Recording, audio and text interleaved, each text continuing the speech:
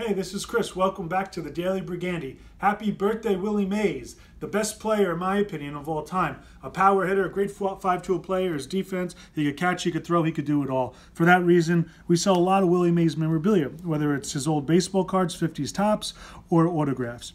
So starting right here, this is the common Willie Mays style signature that you're going to see uh, he did a lot of shows in the 80s, 90s, 2000s, up until today, where he signs a lot of autographs. And this is the style you'll typically see.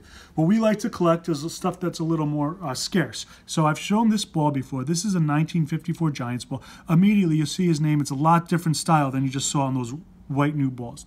Also here, we have an early 1950s original photo, and he signed the top of it there as well. Uh, the same early style signature. Now this stuff is really rare, investment quality, just awesome pieces. This is what we really like to collect here. Thanks for watching the Daily Brigandi. Happy birthday, Willie Mays.